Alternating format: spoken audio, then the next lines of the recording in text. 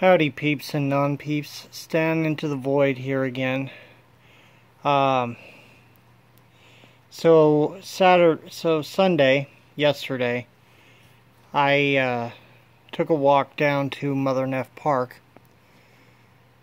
and did a quick tour, um, which turned out to be a bad idea.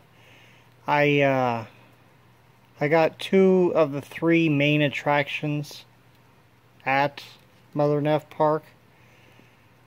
But, um,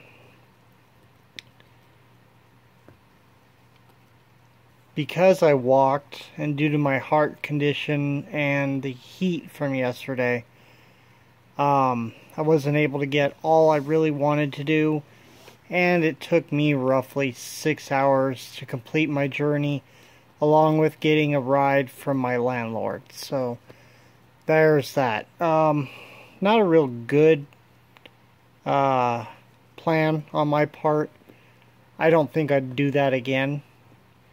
Um, I, I guess my biggest mistake is kind of along the same lines that Columbus had uh, when he decided that he could go all the way around the earth going west instead of the known trade routes.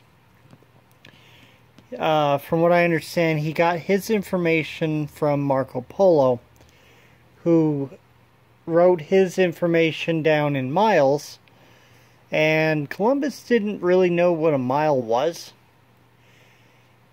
And so he kind of did that on bad guest information my bad guest information is that I didn't know how many miles it actually was to get to uh, to the park.